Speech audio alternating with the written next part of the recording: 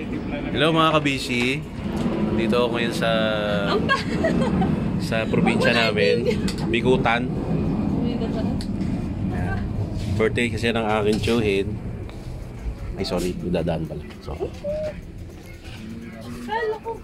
say hi. Hi. Hi! Yeah. Yeah. Ay, sigaw Si. Fred. Hello. What's your name? What's your name? Wow, ang haba naman ng pangalan. Tumayo. Mm. Si, wow, si Francis. And this is my beautiful pinsan. Hello. Lola, sali ka. And this one is our pinsan. Vlogger ka din? Wow. Ano-ano mo? Cute daw.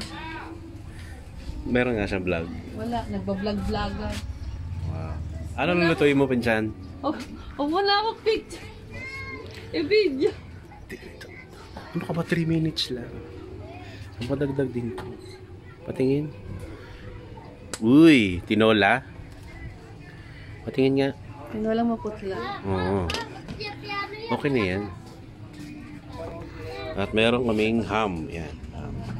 Kinalang mo na? And then, yung kanina, alam nyo nakita nyo na? Hindi, pinsan niya to. Ay, kakambal niya to. di ba? Eh, isa lang mukha, oh, di ba? Oh, so, ipaling ko na ipaling, oh, di ba? Nag-iisa lang, di ba? Oh, oh di ba?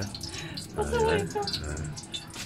Actually, sila yung ano talaga, na cast ng Mulan. Reflection show. Okay, bye.